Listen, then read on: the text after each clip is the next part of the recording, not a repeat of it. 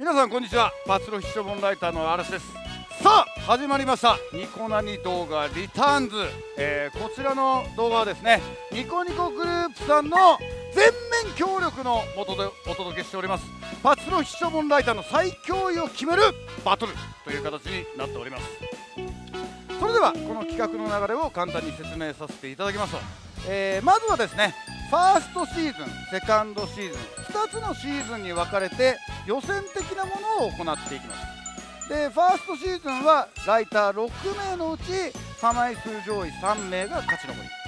セカンドシーズンは3枚数上位2名のライターが勝ち残りということで全5名のライターで、えー、年末年始に行われますチャンピオンシップ、えー、こちらのバトルを経て最終的にパツルヒショボンライターの最強位が決定されるという形になっております。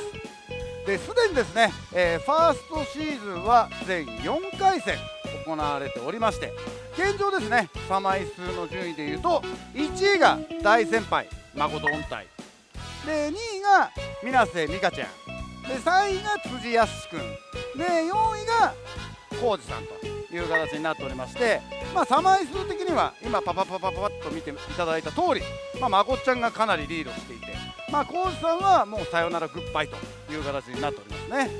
というわけなんで、えー、僕の方はまず今回2位に入れば勝ち残りという形になりますので。とりあえず美香ちゃんの出玉をまず抜くことを第一目標にそして第2目標はとりあえず辻君の出玉を抜いておくという形になれば最終戦のライターさんの結果次第ではそちらの方がマイナスでこれは僕が勝ち残りという形になりますのでまあそういった部分を考えながら今日は打っていきたいと思います。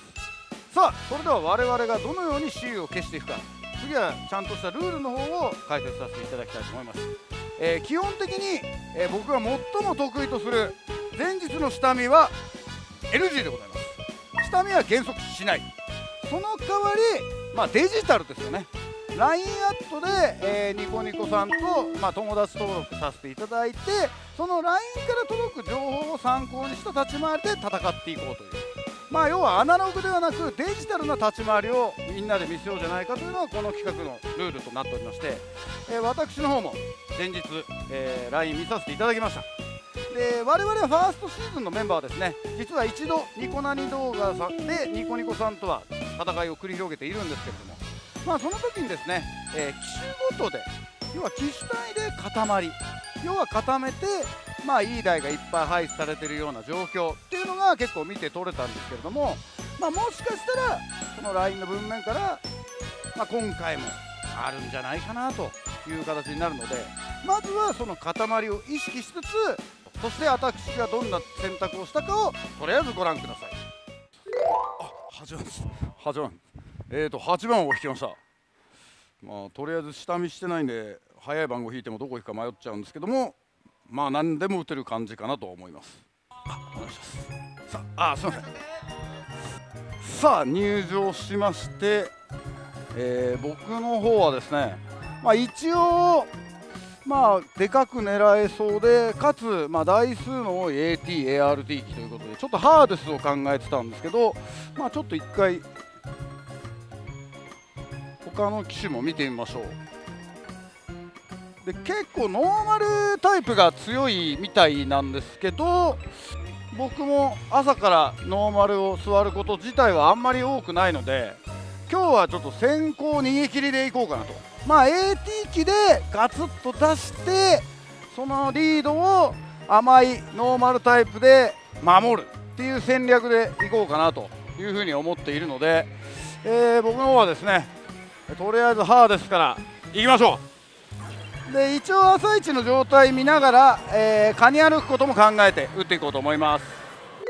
はいというわけで私は8番を引いてまあいろいろ回ったんですけども最終的にはハーデスを選択いたしました。ちょっと最強位とは思えない朝の動きなような気がしますけど。分かんないですよこれ。朝一5ゲーム後にゴッド引いてそれゴッド中に全回転引いてで全部ハーデスで。とんでもないことになるかもしれません。もしかしたら2万枚出てもうチャンピオンシップいらないってなる可能性すらありますから。まあとりあえずそれを目指して僕はこれからハーデスに一戦交えていきたいと思います。5ゲーム後にゴッドです。お見事な違く簡単で多分来ません。えー、私すごく大事なこと言い忘れました。今回の実践ホール触れてないんです。うん。はいというわけで自分のミスをなんとかごまかそうとしてますけれども、えー、今回の、えー、実践ホールさんは大阪府寝屋川市にあります。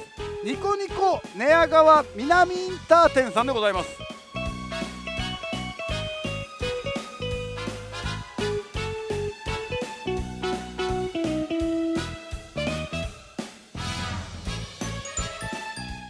ちょっと状態を見てカニ歩いてみようかなと思ったら全体埋まりましたね、まあ、設定向状況もわからないので、まあ、とりあえずはまず変更っぽいといいなとは思ってるんですが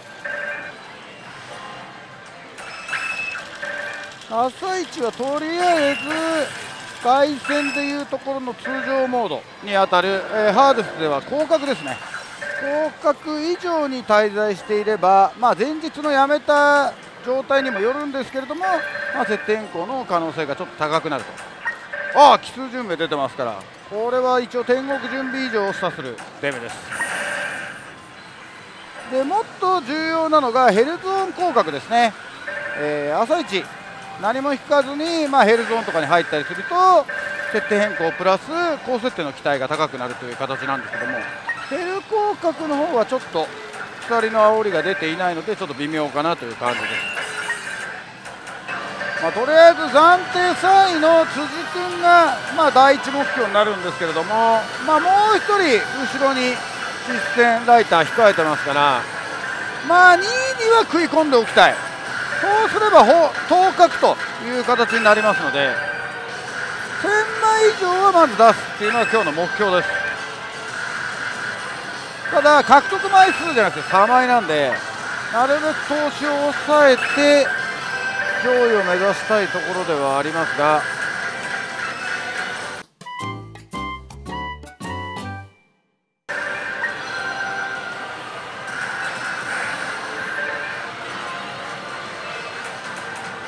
さあもうすぐ400ゲーム台です。まあここまで回してて煽りも出てないですしまあ大丈夫だろうと。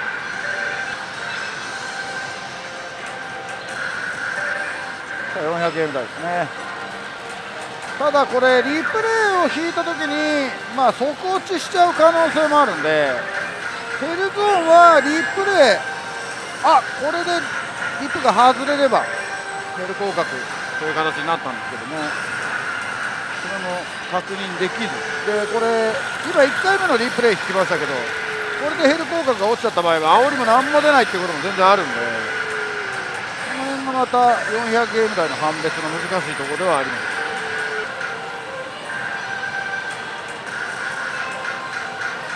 さあとりあえずですねまあちょっと変更の可能性もありそうな雰囲気なんですが1回ここでちょっと他の機種の様子見ましょう。これこのままいくと気づかない間に死に足を踏み入れる可能性もあるんで。結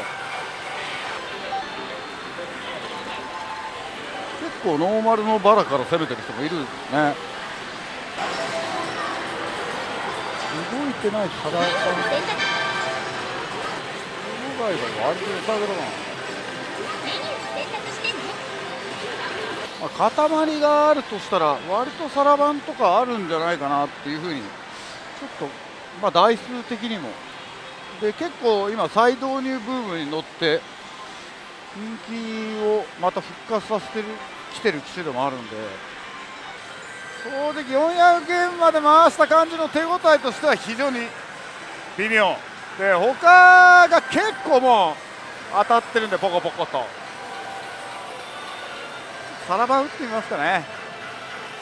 とりあえずハーデスはちょっとやめます。ちょっとサラバンの変更判別。まあ前リセしてるかもしれないです。昨日当たってるゲーム数がみんな200台とか 100M 以内とかだったんでさあそれでは、えー、2台目に調子しましたのはオスサラリーマンバー長と。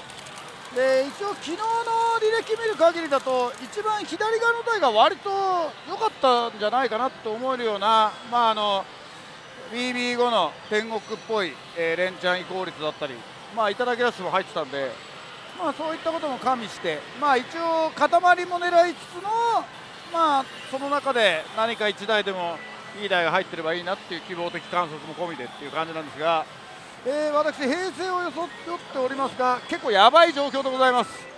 これはまずいですよ。あのハーデスで何事もなく400のゾーンを抜けて、えー、二の矢にサラバンを選ぶっていうのはもう僕の経験上9割5分負ける日です。ただ残りの5分ですよ。一寸の虫にも5分の魂その魂を見せつけてやればいいんだという気持ちで自分を奮い立たせてですねなんとかオスサラ版で巻き返しを狙いつつ頑張っていきたいんですけどもまあ本音を言えば参ったなっていうところですね。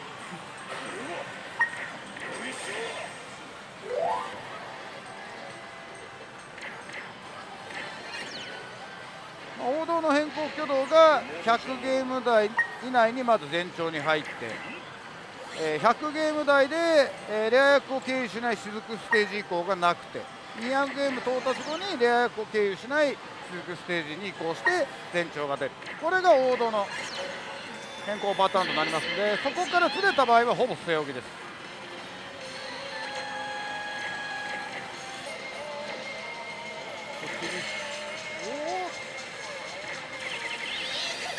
りあえず強釣り引きましたが前兆パターンとしてはさほど強くないので要は最初の前兆が本前兆だった可能性は低そうですね。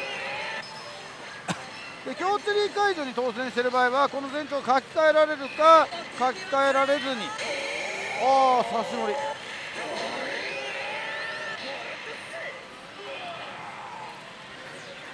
この後にすぐ前兆が始まったら強セリー解除に当選がほぼ確定します。ない。つまりは圧倒的スカです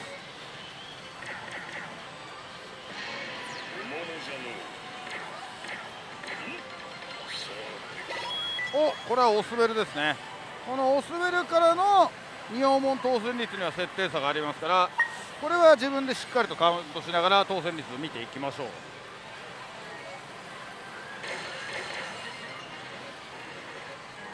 で仁王門前兆はショートとまあロングがありましてロングの方が本前兆期待度が高いんですがこの薬王の揺れから2王門まあ門までいけば熱いんですけど2王とかが出るとロング前兆という形になるので。このパターンが1個も出れないんですよねだからここで前兆が終わっちゃう可能性も全然ありますああもうできた。いっちゃっておりなさい頼む。まだ続いて。5点のショートとかある？ある ?2 ああ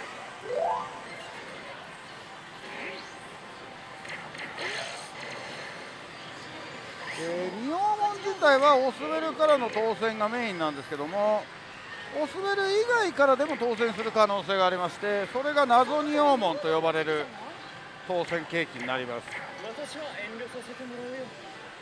でこの謎仁王門に当たると非常に高設定の期待が高くなるんで1回でも確認できたらとりあえず粘る理由にはなる。これです。これが謎仁王門の挙動です。今オスベル引いてないんですよ。でそろそろ仁王門の時期じゃないっていうセリフが出たんでまさかこんなタイミングよくは来ねえだろうと思ったら来ました。ただ俺この謎仁王門にめちゃめちゃ騙されてるんですよ。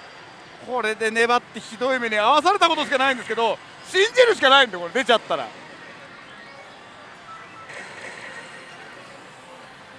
いやマジか。いや騙しじゃないことを激しく祈りたいですがでもし仁王門前兆中にこのジャック・チェリーで解除した場合は仁王門の告知かと思いきや BB の告知が入るっていう形になります驚き入ります。これでまあ仁王門これはいきなりちょっと強い挙動を確認しちゃったんでいつも騙されっぱなしのこの挙動が本日こそは正解であると信じたいですね。とりあえず俺はこれ頑張って開きます。この鉄壁の門を。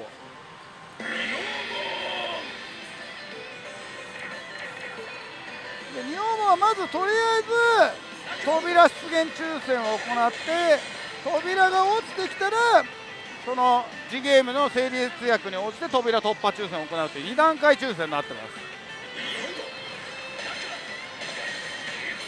まあ、ここでの成立が非常に重要です。まずはリプレイ以外を引きたい。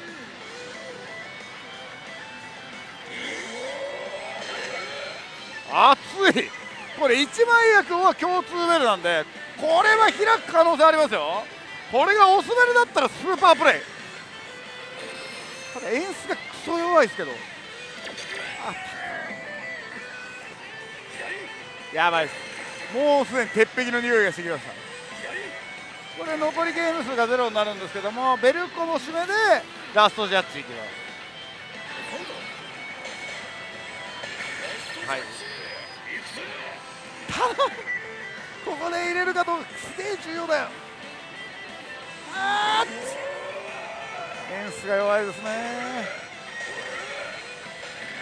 リプレイはまあ厳しいです。カチカチでした今回も。ああ痛えこれで今両足をガッて掴まれた状態でいいファイトしなきゃいけなくなった。そして出玉的な恩恵は何一つなしっていう状況になってますから。これが本日の敗因になる可能性もありますし勝因になる可能性もある。まさにデッド・オア・ライブな今瞬間です。さあこれで200ゲームに到達いたしましてここからは32ゲーム間毎ゲーム BB 当選抽選が高確率で行われるという形になるんですけども、えー、設定変更後は、えー、201ゲームから216ゲーム。この前半パートもマップレベル5という最もマップ解除が当選できる要はレバーオンでの解除が期待できる状態になります。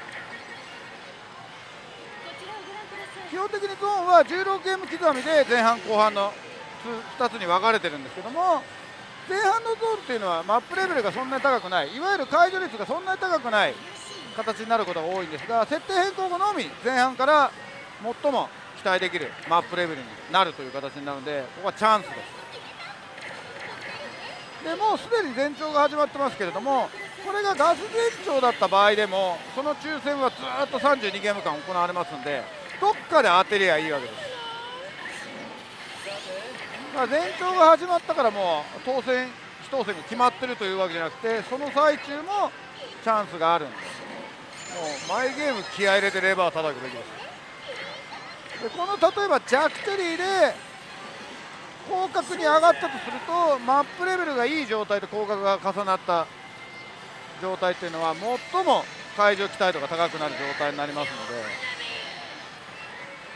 とりあえずその複合の期待も持つ。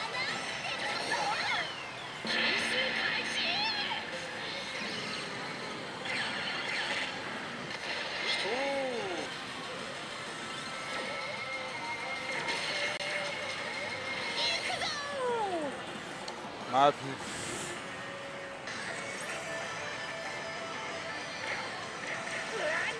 ああるあるよこれは。自体は弱い前兆だったんでカプセルホテル以上の連続演出いけばチャンスです。チャンスは出ろ出ないですね。カットイン。ああやばいよこれは。あ来ましたねチャンスパターン。これが絡むことによってちょっと期待度上がりますから。おしよしよしああ熱いですね。3ゲームで決着いかずに牛乳いってますからこれはもう大丈夫です安心していいやつ。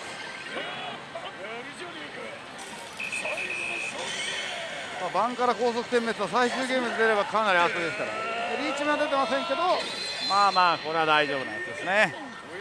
よしよしよし。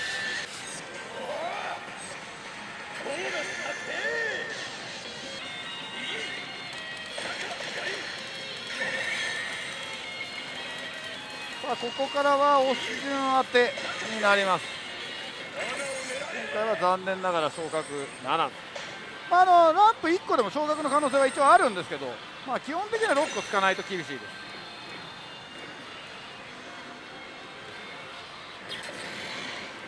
さあ今密かにアラシステム発動させておきましたか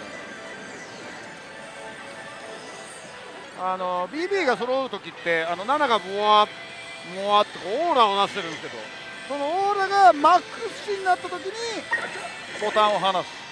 そうすることによってまあ一定のタイミングで BB を離すことによってゲーム数が短くても後悔せず長かったら自分で勝ち取った感を味わえる。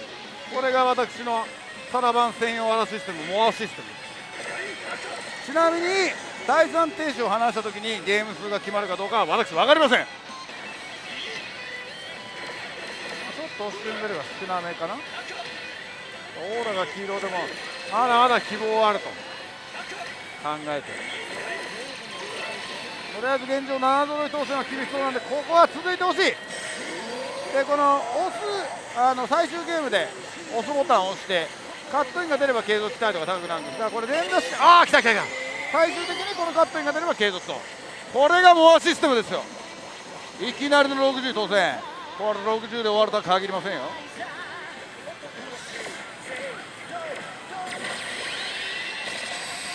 でここでいきなり40とかそういったものはコスされる可能性があります。で BB が70ゲームで終了した場合は設定6確定となります。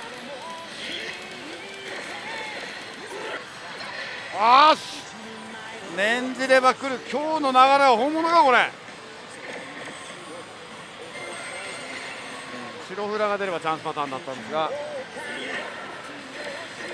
まあ成立の演出は普通なんでああまたいた。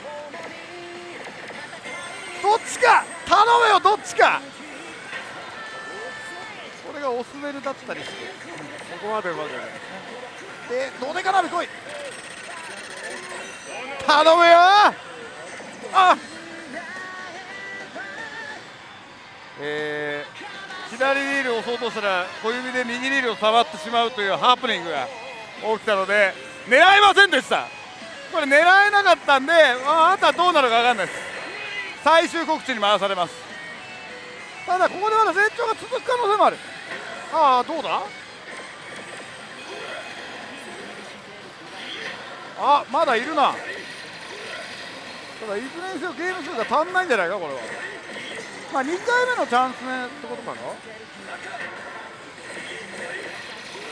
いずれにせよ最後の楽しみになりそうですねこれ。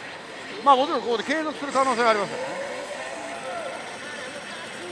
さすがに厳しいかな。ただこっから跳ねるんじゃい。跳ねません。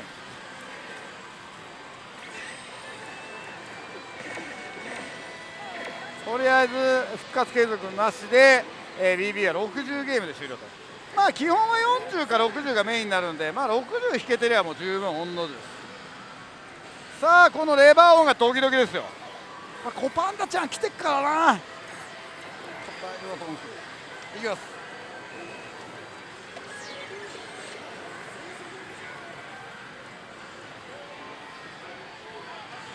え？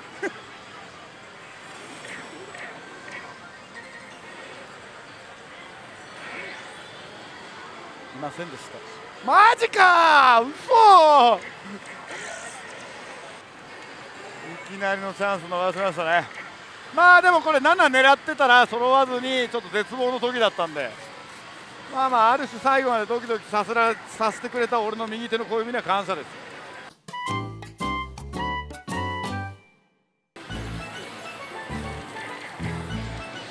それ2000枚ぶち込んでおります。あよかった。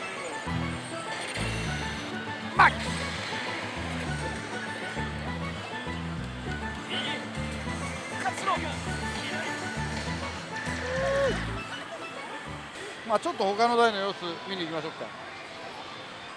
どうしましょうかねこれ。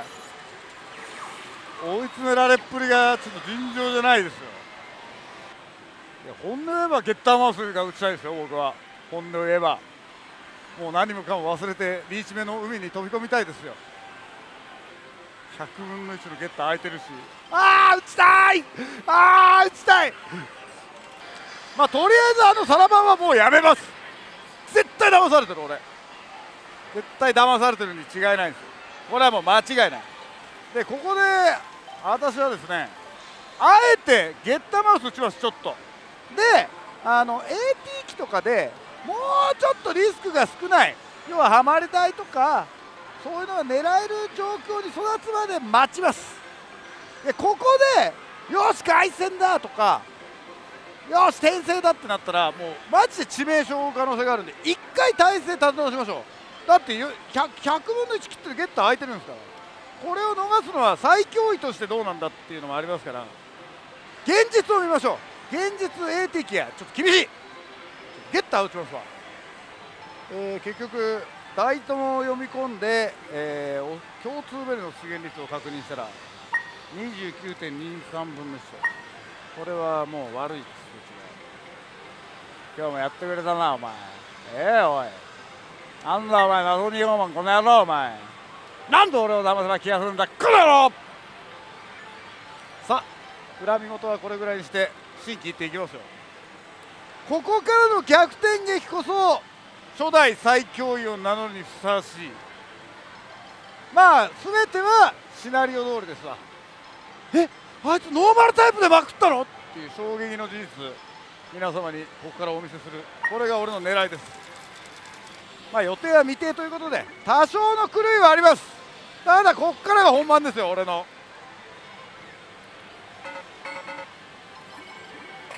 とりあえず通常時のオレンジとスイカとチェリーをカウントしつつ、まあ、しっかりチェリーとスイカをこぼさずにかつボーナス成立の次ゲーム1枚掛けで揃えることによって控え割を最大限発揮させることができますから。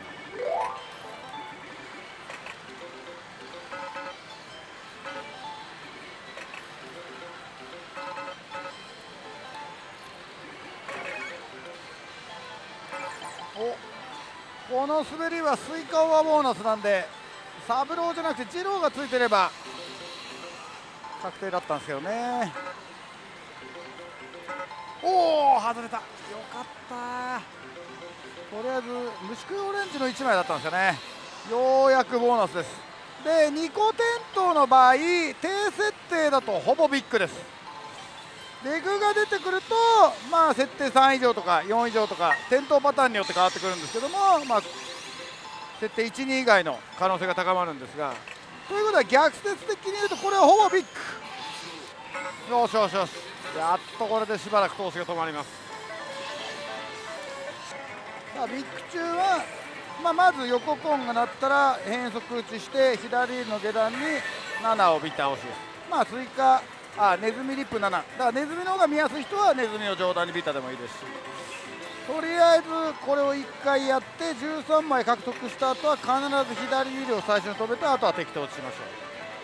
変則すると、まあ、子役を取りこぼす可能性子役を取りこぼすというかあの13枚で取ってしまう可能性が生まれてしまいますのでまず左第一を検出しつつこの左第一停止時に中段に揃うオレンジで設定の器具の差があります。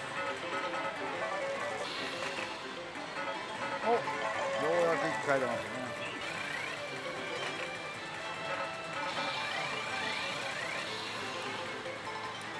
とりあえず中段オレンジは1回とまあ1回のビッグでは分かりませんけれども現状は奇数寄りの挙動です。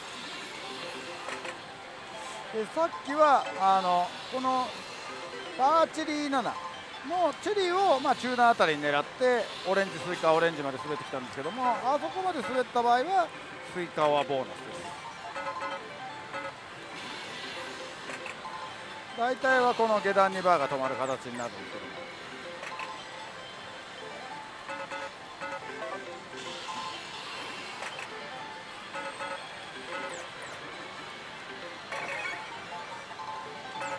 おお1角です。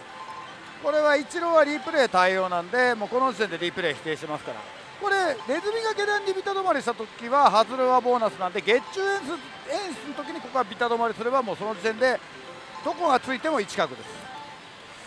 さあちょっとまあレギュラーを狙いつつっていう感じなんですけど一応これ1枚役全フォローしてます。なので、えー、最後は左あ中リールに上にチェリーがついてるバーを狙えば必ず1枚が取れるという形になりますね。1枚を取って割りを上げてボーナスを揃えると。レギュラーも横ポンが鳴ったら1回だけリタ押ししてあとは順をして一打ちですよしちょっと一息ついてきたな。いやゲッターマウスもたまにものすごい凶暴な連チャンを炸裂させることがありますからね。2000枚ぐらいペロッと吐き出したことは何度も目撃してるんで。あそれが今日都合よく起きるかどうかは分かりませんけども起きてくれたら嬉しいですね。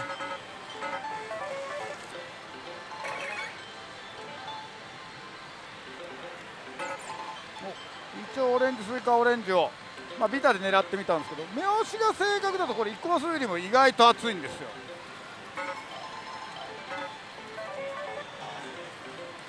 にはオレンジスイカオレンジが止まってオレンジが揃うイメージなんで。もう僕も左リールの制御解析詳しく見てないんで断言はできないですけど。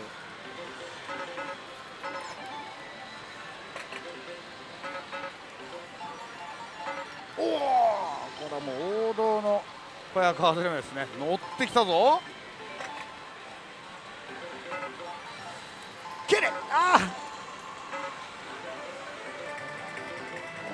長時間ゲットあった時に8の14とか8の16とかそんぐらいやられてるんで今日はビッグ行きたいな。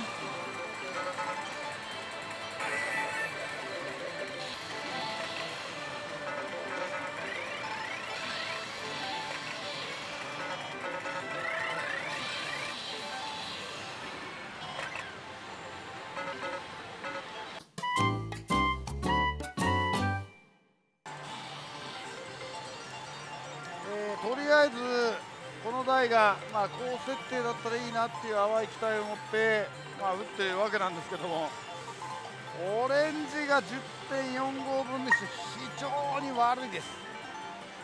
でスイカは87.8分の1ぶっちぎりでいいんですけどチェリーも29.27分の1と悪いんですよね。で僕自身が打ち始めて439ゲームで、えー、ボーナス3回ですから146分の1ぐらい、まあ、1位以下なんで。ちょっと厳しいやはり手応えになってきてますから1回回ってみましょうぐるっと。もういよいよラスト勝負に出るしかないかもしれないそんな状況でございますよ。これは塊は友かなっていう感じの雰囲気ですね。友がめっちゃ出てます。よしじゃあ僕は最後の勝負にもう出ます。早いですけど。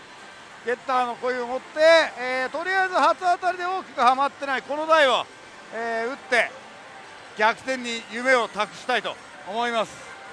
さあそれでは、まあ、残り2時間ぐらい一応実践時間ありますからまあ出っ放しになれば十分に回くれます。なるべく早くまず当たりを引くことこれですね。さあだんだんコーズさんの背中まで遠のいてきてますがなんとかコースはまくりたいな。こうなったら。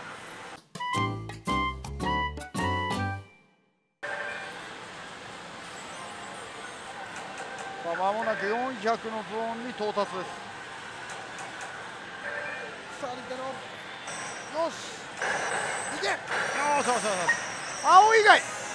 ああ青とはいえ当たるときは当たりますから。なんとか切りなく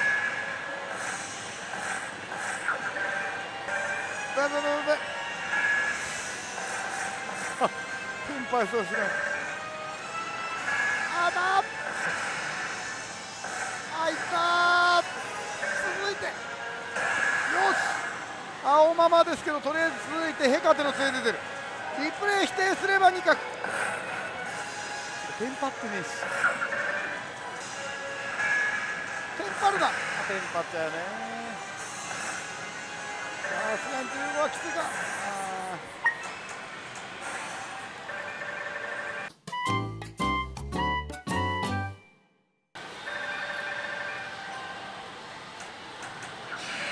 おリプレイでやめなきりモードアップ確定ですね。これで定格からリプレイか外れ目。まあ木七こぼしとかだけで明快に行く可能性があるんでこれ明快移行して1ゲームにレイア役だったら激アツなんですけどね。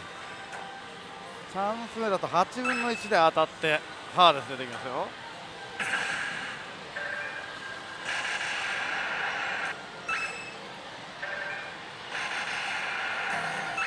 おおある！これあるよ明快。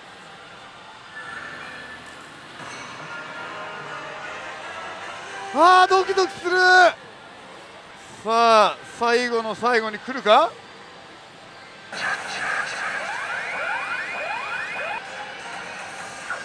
いやこれでケルベロス出てきたらびっくりしちゃうああこれハーデス中だったらどっちかだからな。あんま引かないでほしいんだな。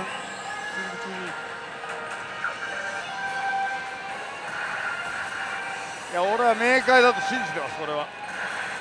フラッシュバックしろやだ。なんでだよ。なんで。なんで。なんで。高額で当たったんでしょうねこれ。はあ。嘘。いやでもいいんです。当たり引けましたから。このケルベロス。一寸の犬にもこぐの魂だ。見せてやろうぞ君の力をアウト No. Fire. No. はい溜めてからのアイポン。No. あーやばい。50台がダメだ。本当に。50台がダメ。ファイ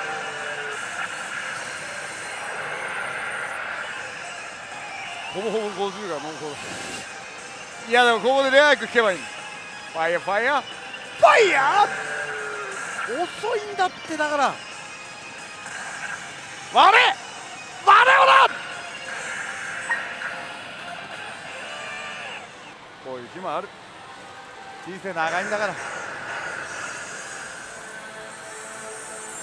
ただここの50ゲーム間に何かしら爪痕を残す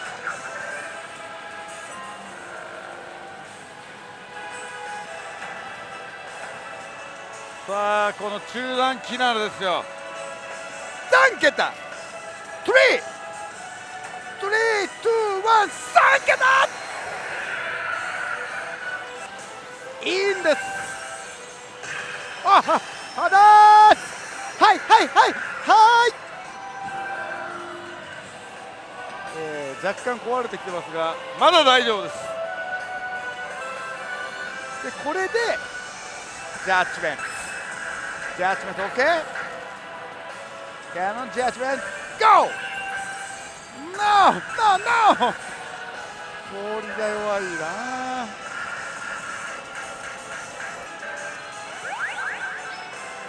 手っ放してやる手っ放とりあえず今ので天国上がってないかなよし emprendedores.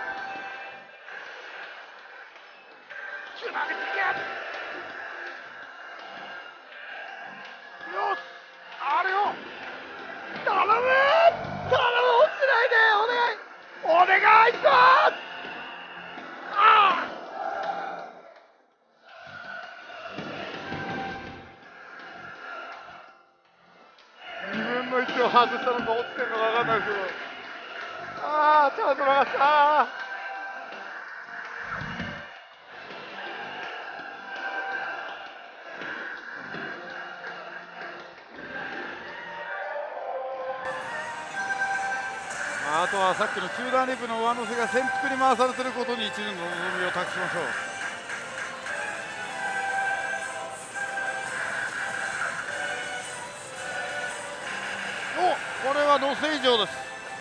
上乗せ以上。盛り上がり。おーしでかい。50はでかいなこの状況で。デジャブもつい。てこいでや弱いな。頼む。ついてきて。ジャッジメントさあ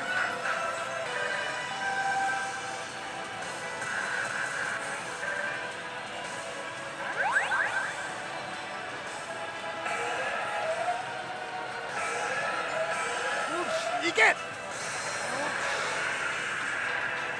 からの赤ダイヤだろ出会いが聞け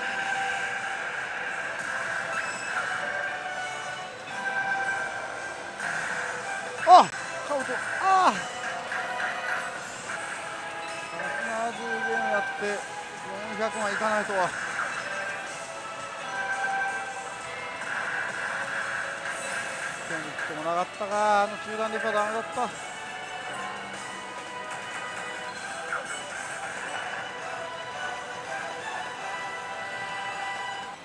さあただ、えー、さっき、まあ、全長が明らかに短かったのでもしかしたらあのリプレイで当たってたのかもしれないですしそうなると知らず知らずのうちに天国に上がってた可能性もなきにしもあらずなのでそうなった場合は天国からスタートする可能性もありますから。初当たりでの速い連チャン。または奇跡のループストックあり。その2つに望みを託していきましょう。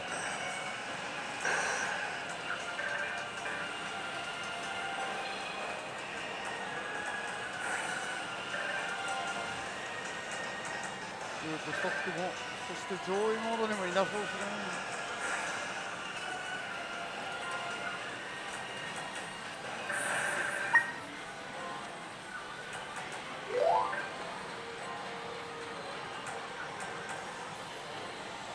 あ、ちょっと微妙かなというところで、えー、コインも飲まれたんですけども、えー、僕の方は実戦を終了したいと思います。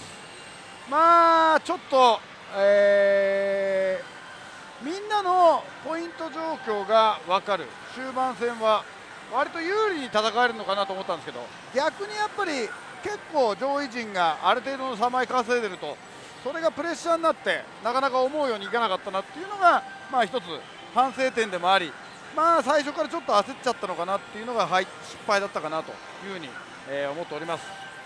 さあそれではちょっとぐるぐる回っていきたいと思うんですけども、まあ、やっぱり、えー、終始、まあ、安定して、えー、台数出てる台数が多かったなって思うのが、まあ、北斗もですね、えー、ガールズパンツァーですね。ガールズパンツァーが結構同じお客さんがずっと粘ってるんでまあそのうち1台結構出ててもう1台も箱使い始めてるんで。まあもしかしたら、えー、6台機種なのか3台機種なのかっていう読みで僕は3台機種と3台機種に塊入るんじゃないかなっていうふうに予想してたんですけどももし3台機種の方にも入っているんだとしたら、まあ、ガルパンとかがもしかしたら怪しかったのかなというふうに思います。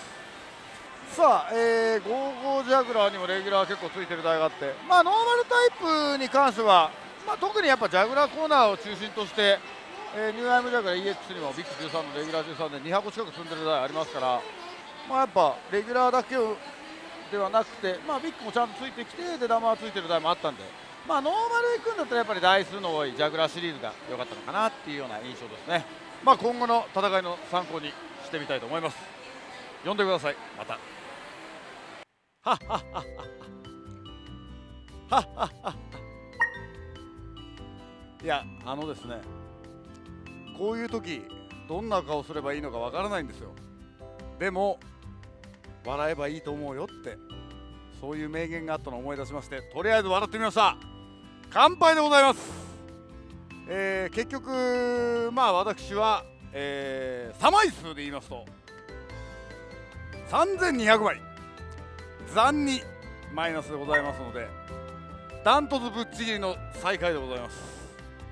まあ敗因はいっぱいあります。まあ朝からハーデスに行ったこともそうかもしれませんしまあなんといっても謎仁王門っていうまあこれで人生4度目です。謎仁王門もう4回引いてるんですけど全部こういうことになってますけども。まあまあそこに騙される。これもまたでもまあ男の美学だと思うんですよね、えー、これにてですね実は上位2名のチャンピオンシップ通過。これ決定いたしました。1位のまこちゃん。そして2位の美香ちゃん、えー、2人は当確でございます。で逆に、えー、私と浩二さん。老兵はただ去るのみと。いうことで、えー、残念ながら敗退確定でございます。で最終戦ですね、えー、神谷玲子さん、えー、まだ実戦控えておりますので。これはですね神谷さんが残ると、えー、まこっちゃんが黒1点。男1人女性2人のファーストシーズン抜けになるかそれとも美香ちゃんがこう1点になるかということで黒と赤がひっくり返りますから最終戦でいくらでも、まあ、非常に見どころのある最終戦を演出したということで僕はいい仕事したんじゃないかなと。えー、といったわけで私のニコナイン動画リターンズ挑戦はこれで終了となりますが最後にやっぱりこう人生っていうのは日々つながっているんだなというのを今回すごく実感いたしました、えー、実はですね昨晩、えー、夜中です。編集部員の方にちょっとあのホテルまで車で送っていただいてたんですよ。そしたらなんと家ではよく見るんですけど車の中に G、まあ、いわゆるジョージですね。ジョージが出現ということになりまして、えー、すごい1時間ぐらい格闘しました。そして結局退治できずということで、まあ、本当に俺たちついてないねと。なんでこんな夜中にしかもこんな戦いの前に G にこんなに惑わされなきゃいけないんだと。いうことをまあその編集部員の方と2人で話したんですけれどもまああのついてない事象が今日もそのまま引きずられたんじゃないかなということで、まあ、次はですね戦う前から運気高められるように、まあ、あの前日の夜はアロマでも行って あの心も体もリフレッシュして戦いに臨めればなと思っております。さてそれでは最後にですね、えー、ファーストシーズン最終戦神谷玲子さんの実戦の模様は10月15日配信予定となっておりますのでそちらもぜひお見逃しなく。